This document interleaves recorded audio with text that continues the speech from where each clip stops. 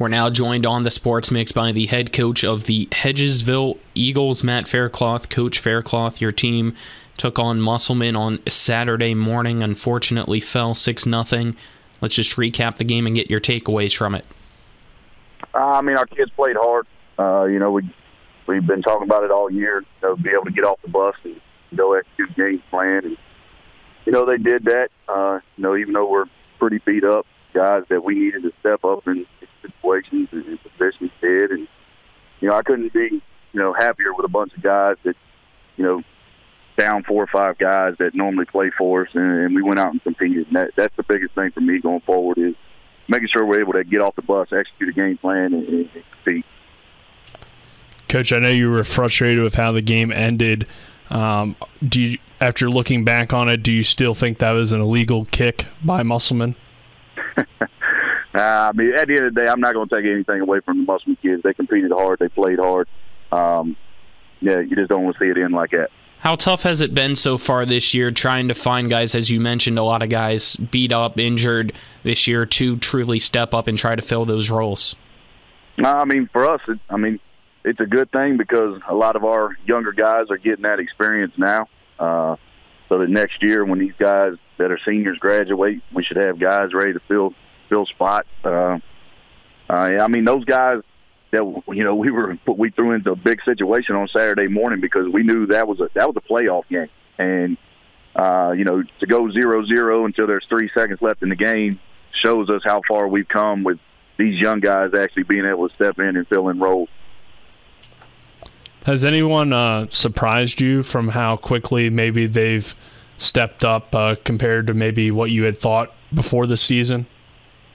No, I mean, you know, the first one that comes to mind is Jacob Kerr. Uh, Jacob plays, you know, a hybrid safety. He played inside backer for us this past week because we're down, you know, three linebackers. Uh, you know, he's been the first one to really, you know, jump out at you. And I mean, you know, Nate No. I mean, Nate No's been our best corner all year. Uh, you know, with X not playing uh, football this year to focus on basketball, that was a key spot for us. And uh, I mean, Nate No's really jumped into that. And, uh, and Gavin Young, I mean, everybody sees Gavin as a pass pass catcher and a and a skilled guy on the offensive side. I'm gonna tell you, Gavin might have played his best high school football game at corner on Saturday. So for us, it's just you know getting guys to step in roles that we need.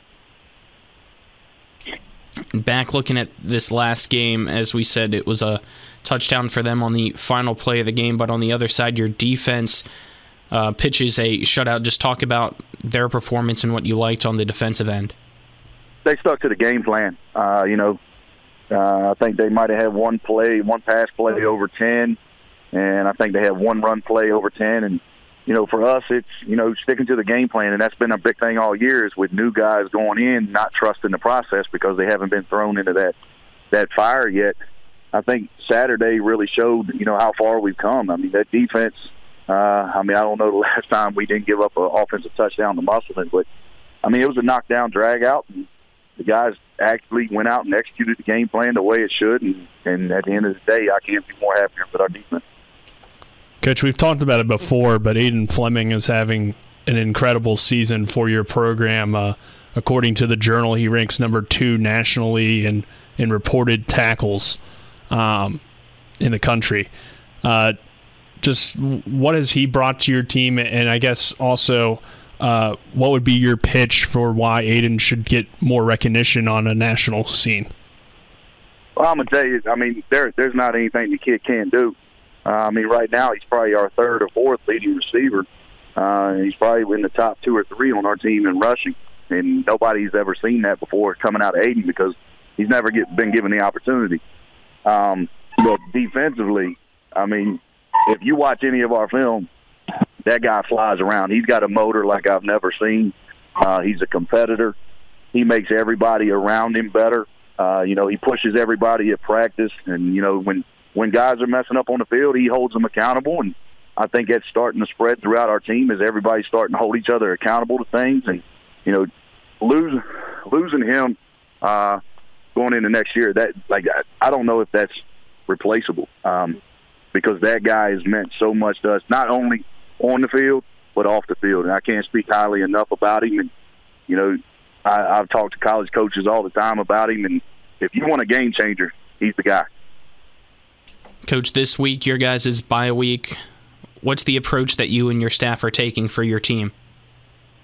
Uh, one, rest, get healthy, but still sticking to football stuff, and uh, you know, lightening the load a little bit, and just working on the basics, fundamental stuff, and stretch recovery stuff. Uh, getting our bodies back into, you know, try to get them back into some peak performance before we hit the field next week, and you know, it's just working on the fundamentals. Uh, you know, the biggest thing for us is, you know, I thought we executed really well uh, at times on the offensive end on Saturday.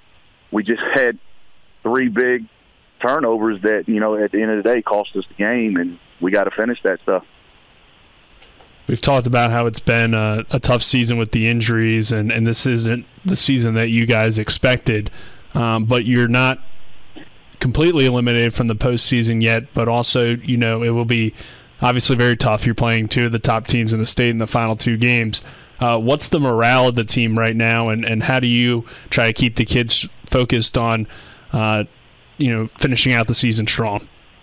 I mean, I'll be honest with you. I was more worried about going into Saturday's game just for the simple fact of, you know, for us, I mean, everything's been an away game. So for us, we don't get that opportunity when school's out, you know, for our kids to hang around and relax until game time. It's for us, it's as soon as the bell rings, get them fed, get them fitted, get them on a bus, and, and let's roll. And so for us, that was that's that was my biggest thing. And you know, for us, we're still competing. Guys are still showing up to practice competing, and you know, that's the one thing I always say about Hedgesville kids you know, when even when the, the the cards are stacked against you, at the end of the day, they're going to keep competing and keep showing up and grinding. I mean, that's what that's what Hedgesville's been built on for for many years. And then, coach, our uh, fun question this week um, is: What kind of music do you like to listen to? Well, I mean, out, out, out here, you know, everybody says, "Oh man, it's country," but hey, I'm I'm in it all. I'm in country. I'm I'm in the, I'm in hip hop. I'm in it all. It's come out to practice, you hear it all uh, on the playlist, but for me, I listen to anything and everything as long as it don't have too many bad words in it. All right, Coach Faircloth, appreciate the time and